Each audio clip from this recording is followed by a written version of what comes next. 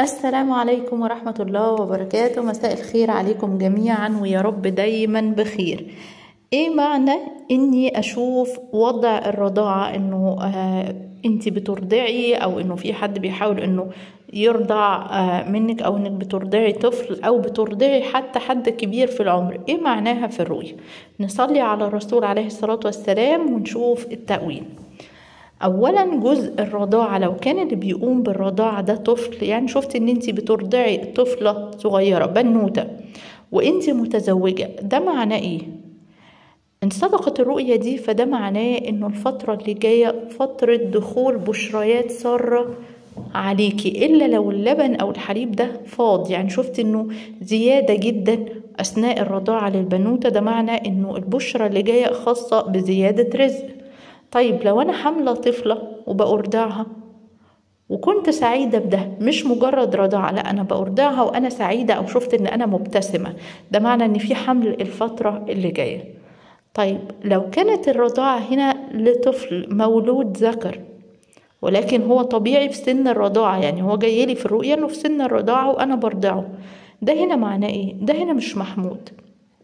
لأن هنا ده معناه دخول الإنسان في كرب أو في ضيق وهم الفترة اللي جاية. ده طالما إنه شفتي الرضاعة وإنه طفل لا كان طفل ليه اسم ولا كان طفل مبتسم ولا أنا كنت مبتسمة. هي مجرد رضاعة عادية ولكن لمولود ذكر. ده معنى إنه هم وضيق. طيب لو كنت أنا سعيدة وكان الطفل سمي هنا تكون محمودة هنا تكون بمعنى إيه؟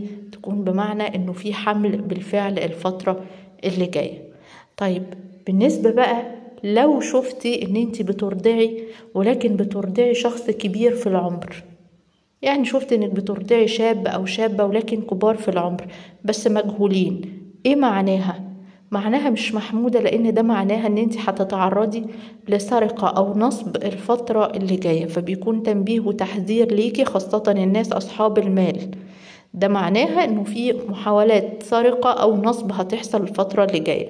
طيب لو شفتي إنه في حد معلوم ليكي ولكن بيحاول الرضاعة منك بالعافية يعني انت مش متقبلة ولكن هو بيحاول ده معناه إنه الشخص ده هيحاول يحتال عليكي.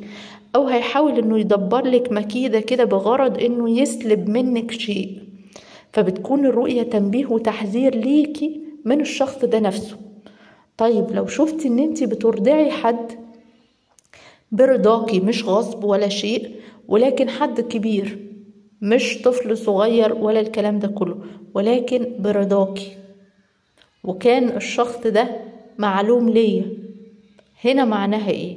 هنا معناها انغلاق الدنيا على الاتنين اللي بترضع واللي تم رضاعته ده معناه انغلاق الدنيا. انغلاق الدنيا بمعنى إيه؟ بمعنى دخول في شدة ودخول في فترة كرب على الاتنين دول.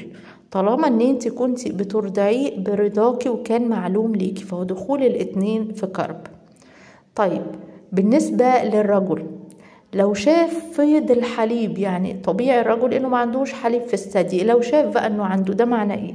ده معنى إنه في فيض رزق هيحصل عنده غير متوقع يعني الفترة اللي جاية في رزق عظيم هيتيسر ليه وده خلاف المتوقع بالنسبة له. طيب لو امرأة مطلقة وشافت إن هي بترضع ولكن هنا كانت بترضع بنوتة مش ولد. هنا معناه إيه؟ تعرف على طول إن في بداية جديدة في مسؤولية جديدة وحياة جديدة هي هتتحملها الفترة اللي جاية فبتكون محمودة ليها جدا. طيب لو شافت إن هي بترضع فتاة ولكن مش بيبي مش في سن رضاعة هنا تبص بقى في حال المطلقة. هل هي بتعمل؟ لأن ده معناه إنه في مكانة هتصل ليها أو في منصب جديد هتحصل عليه الفترة اللي جاية. فبتعود على نجاح بتعود على توفيق في ناحية عملها. جزء بقى إن شخص كبير في العمر بيرضع منها برضاها أو غصب عنها دي نفس تأويل المرأة المتزوجة اللي ذكرناه في الأول. بالنسبة للبنت العزباء بتكون محمودة جدا. ليه؟ أولا بننظر في أمرها هل هي بتدرس ولا لأ؟ لو بتدرس فده معناه إنه نجاح وتفوق بس في مستقبل هي لسه هتكمله. يعني مش بتعود على جزء بس إنه الرضاعة إن هي تفوق العام ده. لا هو تنبيه من إنه في نجاح وفي توفيق هي لسه هتحصل عليه من مستقبل مقبل. يعني لسه في توفيق في الفترة المقبلة مش بتعود على الفترة الحالية فقط. لا هي بتبشرها بإن هي داخلة على نجاح وتوفيق في أمر هي فيه ومازال الاستمرارية فيه قائمة مش حاجة خاصة بالفترة الحالية فقط. طيب لو البنت شافت إنه هي بترضع ولكن هي لا هي بتدرس ولا شيء ده معناه إيه؟ ده معناه إن هي هتتحمل مسؤولية الفترة اللي جاية في ناحية زواج وذرية. طيب لو البنت دي أصلا مخطوبة وشافت الرضاعة لو شافت الرضاعة لطفلة ده معنى إن في بشرة تانية هتجيلها ملهاش علاقة هنا لا بالزواج ولا بالقصة دي. طيب لو أرضعت صبي بالنسبة للبنت العزباء المخطوبة ده معنى تمام موضوع زواجها بخير الفترة اللي جاية بإذن الرحمن ونسأل ربنا إنه هيقضى.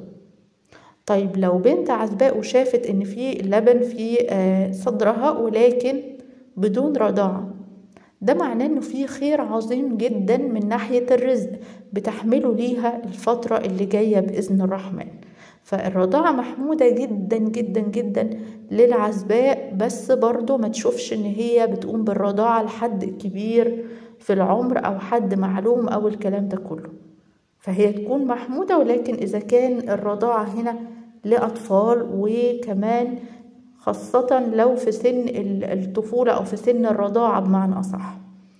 يا ريت ما ننساش نصلي على الرسول عليه الصلاة والسلام وتنسوش تعملوا لايك للفيديو والسلام عليكم.